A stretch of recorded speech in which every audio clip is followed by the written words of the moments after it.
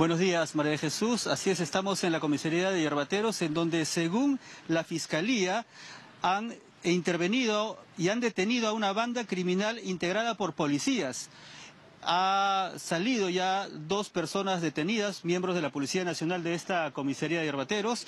Lamentablemente están los policías, sus compañeros, están bastante herméticos aquí. Incluso hace unos momentos una persona de civil que, según dijo, era policía, nos trató de sacar del lugar en compañía también de sus colegas que se encuentran aquí en la puerta.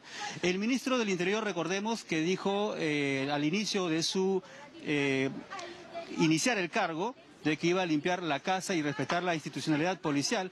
Sin embargo, lamentablemente aquí eh, aparentemente los efectivos de la policía están haciendo espíritu de cuerpo porque están ocultando información a pesar de que la segunda fiscalía es la que ha convocado también sobre esta detención. Vemos en estos momentos que la DIVIAC está realizando esta operación al interior de la comisaría de Hierbateros, también está la fiscalía, vemos el fiscal adjunto que continúa al interior de esta comisaría, es la segunda fiscalía penal de la Victoria San Luis que está realizando esta operación.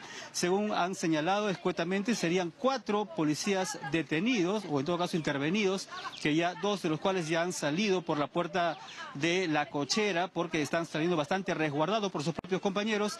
Sin embargo, nosotros continuamos a la espera de mayor información. Es la información que tenemos para brindar por momento. La operación continúa en marcha.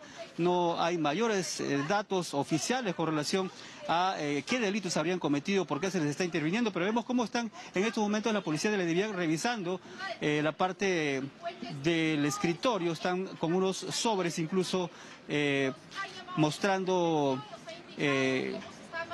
las pruebas aparentemente que están tratando de recuperar en este caso durante esta intervención. Recordemos, es la comisaría de Yerbateros, aquí en el distrito de San Luis, y como repetimos, eh, hay bastante eh, hermetismo por parte de sus propios compañeros de los miembros de estos efectivos, que según la Fiscalía sería una banda criminal integrada por lamentablemente efectivos de la Policía Nacional. Es la información que tenemos para brindar a esta hora de la mañana, María Jesús.